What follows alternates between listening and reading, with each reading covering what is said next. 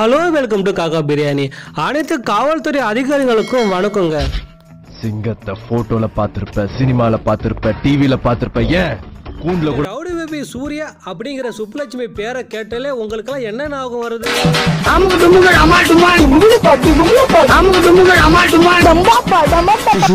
Okay okay. இதே mind செட்டோட நீங்க எல்லாருமே இந்த வீடியோ அப்படியே கண்டினியூ பண்ணுங்க. இந்த மாதிரி கேடு கெட்ட கேவலமான கேஸ்ல சிக்கி இருக்கும் போது மீடியாக்காரங்க தரமா வச்சு செஞ்சாங்க பாருங்க. அதெல்லாம் வேற வேற வேற லெவலுங்க.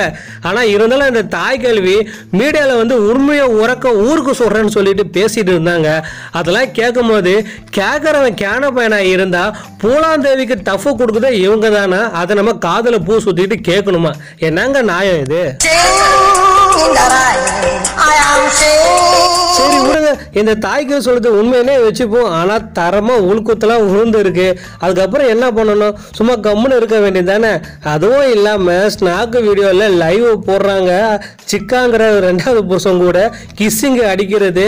அப்புறம் யூடியூப்ல மேல வச்ச ஐநூறு கீழே வச்ச ஐநூறுன்னு சொல்றது. அது மட்டும் இல்லாம பப்ளிக்ல ஒருத்தன் கமெண்ட் பண்றதுக்கு ஈக்குவலா வந்து பாத்தீங்கன்னா நைட்டே தூக்கி கழட்டி காட்டுறது. இதெல்லாம் என்னங்க இதெல்லாம்? ஆப்போசிட்னு உச்சமா அவங்களுக்கு தெரியலையா? பொண்ணை பக்கத்துனா பொறுக்கிய பத்து விட்டுருக்காங்க. இப்போ நான் மேன்மேன் இருக்க வந்துடுங்க இது சென்னை டாக்கு சமாச்சாரம் உங்க எல்லாருக்குமே தெரியும். பப்ளிக்கில் ஆபசமா பேட்டி எடுத்து போலீஸ்காரங்கிட்ட மாட்டிட்டு இப்போ கம்மி ஆகிட்டு இருக்காங்க. இதுக்கு மெயின் ரீசனே யாருன்னா பார்க்கறதுக்கு பக்கா சூனியக்கார கல்வி மாதிரி இருக்கிற இந்த தாய் கல்வி தாங்க. இந்த தாய் கல்வி என்ன பண்ணுதுன்னா பப்ளிக்கில் ஓப்பனாக த்ரீ சம் பண்ணலாம் வாங்கடா ஃபோர் சம் பண்ணலாம் வாங்கடா அப்படி இப்படின்னு சொல்லிட்டு காது கொடுக்க முடியாத அளவுக்கு ஆபசமான வாதிகளை பேசி இருந்தது. கடைசியாக அந்த பொம்பளை என்ன பண்ணுச்சுன்னா யூதப்பில் ஒரு பிரபலமான யூடியூப் சேனலில் பேட்டி கொடுக்குது. அதாவது நான் தான் இவங்க மேலே கம்ப்ளைண்ட் கொடுத்தேன் அப்படின்னு சொல்லிச்சு. அது கூட போயின்னு சொல்லிட்டு இப்போ போலீஸ்காரங்க இந்த பொம்பளை மேலே ஆக்ஷன் எடுத்துட்டு வராங்க. அது மட்டும் இல்லாம சென்னை மாநகர போலீஸ்காரங்க கூட சரிங்க. இனிமேல் யூதப்பில் ஆபாசமான பேட்டிகள் எடுக்கிறது பேசுறது கூட எதுவுமே பண்ணக்கூடாது அப்படி பண்ணி நீங்கள் டிலேட் பண்ணிடுங்க இல்லைன்னா கிரைம் போலீஸ்காரங்க அவங்க மேலே ஆக்ஷன் எடுப்பாங்க சொல்லிட்டாங்க. ஸோ இந்த சம்பவம்லாம் வந்து பாத்தீங்கன்னா ஒரு வாரத்துக்கு முன்னாடி நடந்து முடிஞ்சிருச்சுங்க. இதுக்கப்புறம் வந்து பாத்தீங்கன்னா இப்ப தாய் கிழவிங்கிற இந்த சூர்யா கிளவி ஒரு வாரம் கழிச்சு பொங்காம பொங்கல் அன்னைக்கு பொங்காம இப்போ வந்து பார்த்தீங்கன்னா பொங்கிட்டு இருக்கு. அநியாயத்தை கண்டு எதிர்த்து பேசுறாங்களாம் அங்க நிக்கிறாங்கப்பா இந்த தாய் கல்வி என்ன சிரிப்பு எங்க தெரியுமா? அந்த வீடியோ பார்க்கும் போதுல கூட கூடங்க லேட்டஸ்டா இந்த ரவுடி பேபி ஆயாவும் சிகாந்திரம் பரபரப்பா லைவ் எல்லாம் பண்ணிட்டு இருக்காங்க. நிறைய பேர் வந்து பேட் வாஸ் எல்லாம் பேசுறாங்க. அதுக்கு இவங்களும் பதிலுக்கு பேட் வாஸ் எல்லாம் பேசிட்டு வராங்க. அதையும் பார்க்க முடிச்சதுங்க திடீர்னு என்ன தெரியல இந்த ஆயாவுக்கு திடீர்னு லவ் மூடு ஸ்டார்ட் ஆகி ஐ லவ் யூ ஜீப்பு முட்டுங்கிறாங்க. இதை பார்த்து காண்டான ரெண்டாவது கடவுள் சிக்காந்தர் என்ன சொல்றாரு? அடி போடி லைவ்ல இந்த மாதிரி பேசலாம்? ஆல்ரெடி என்ன மாமாங்கிறாங்க நீ என்ன மாமாவே ஆய்க்கிற போலன்னு சொல்லிட்டு சண்டை போட்டு சாமான தக்கு புக்கு தக்கு புக்குன்னு ஒட்டு விட்டு ஊருக்கே போயிட்டாருங்க. அப்போ ஓடி போன அந்த ரெண்டாவது கணவர் இப்போ லேட்டஸ்டா வந்து ஜாயின் ஆயிருக்காரு போல இருக்குங்க. அதையும் பார்க்க முடிஞ்சதுங்க. அந்த ரெண்டு நாளைக்கு முன்னாடி தாங்க சிக்காந்தரம் இந்த தாய்க்கொலை ஆய்வோ பரபரப்பா வீடியோ போடுறாங்க. லைவ் வீடியோ ஓகேங்களா அந்த ஸ்பீச் எல்லாமே தரமான ஸ்பீச்சுங்க கொஞ்சம் கிராப் கூட பண்ணலாம் அந்த அளவுக்கு வேற லெவலாக இருந்தது அந்த ஸ்பீச் எல்லாம் அதாவது எப்படி சொல்றது? நடந்த சம்பவத்தை அறக்குறையா புரிஞ்சுக்கிட்டு கொஞ்சம் கற்பனையில ஓவர் ஃபுல்லோ ஆகி பைத்தியகரத்தனமா பேசியிருப்பாங்க அந்த தாய் கருவி. சரி பேசுனதா பேசாச்சு. அந்த வீடியோ எதுக்கு டெலீட் பண்ணணும்? இல்லையா பிரைவேட்ல போனால் எனக்கு தெரியல. ஸோ அவங்க அப்படி என்னதான் பேசுனாங்க அதையும் பார்த்துடலாம். சாதாரணமாகவே இந்த சிக்காந்தரையோ தாய் கேள்வியோ கழிவு கழிவு ஊற்றுவானுங்க ஆடியன்ஸுங்க எல்லாருமே. இப்போ இந்த கேஸெல்லாம் மாற்றி பெரிய சர்ச்சை வந்தது. அப்போ சும்மா இருப்பானுங்களா? நீங்களே சொல்லுங்களேன். ஏகப்பட்ட பேர் இன்னும் கூட சரியாக கழுவி ஊற்றிட்டு வராங்க. அதாவது இந்த தாய் கழிவுக்கு முழுக்க முழுக்க பிரச்சனை என்னன்னா கழிவு கழுவி ஊத்துறவங்க தான்.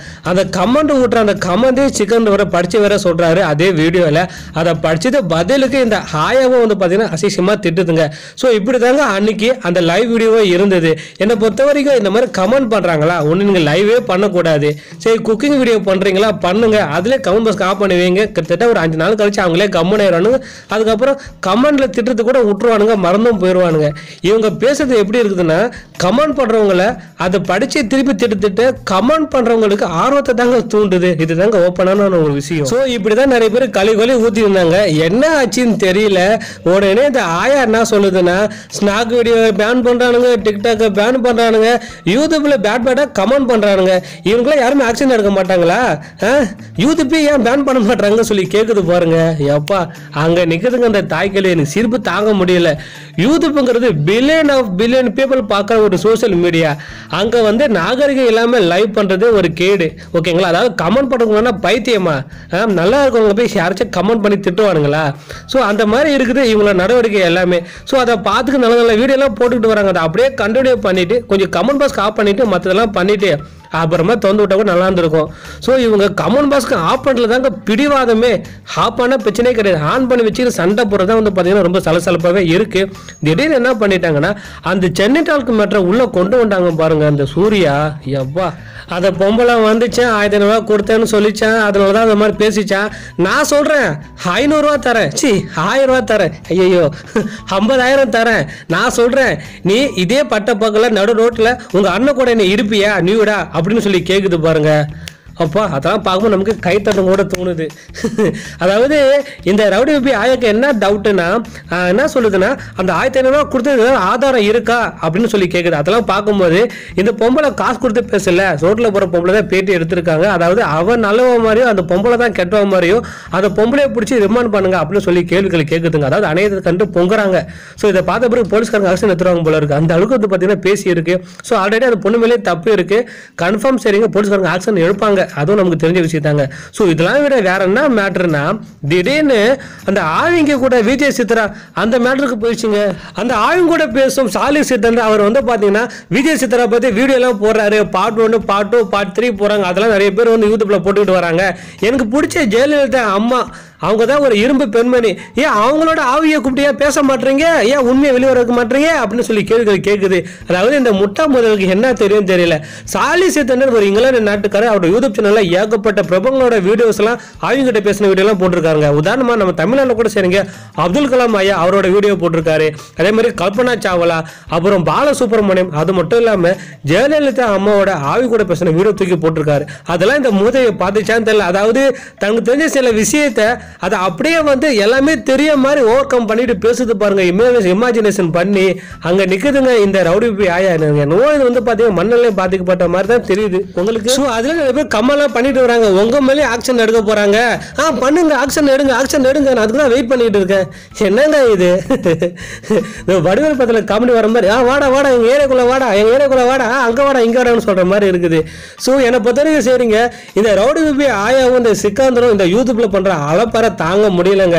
அதை நான் என்ன பண்ணுறது சொல்கிறதுன்னு தெரியல. ஆனால் ஆல்ரெடி இந்த சிக்காந்தர் கூட சரிங்க. ஆல்ரெடி கொஞ்சம் வந்து எப்படியோ கொஞ்சம் தாக்கு பிடிச்சிக்கிட்டு இருக்காரு. ஆனால் இவரே பைத்தியம் மயக்கிற போல இருக்கு இந்த ரோடு பிபி ஆயா. ஸோ இவங்களோட ஆட்டம் அந்த யூதப்பில் திட்டினாட்டு தாங்க ஸோ காவல்துறை அதிகாரிகளுக்கு நான் சொல்கிறது என்னன்னா இந்த பொம்பளை ஓவரா பண்ணிக்கிட்டு இருக்கு. இதை ஜெயிலில் பிடிச்சி போட வேணாம். ஏதாவது மனநிலை ஹாஸ்பிட்டலோ இல்லை சைக்காட்டிஸ்ட் ஹாஸ்பிட்டலோ கூட்டி போய் ட்ரீட்மெண்ட் பாருங்கள் கொஞ்சம் யூத் பச்சை கொஞ்சம் வழங்கும்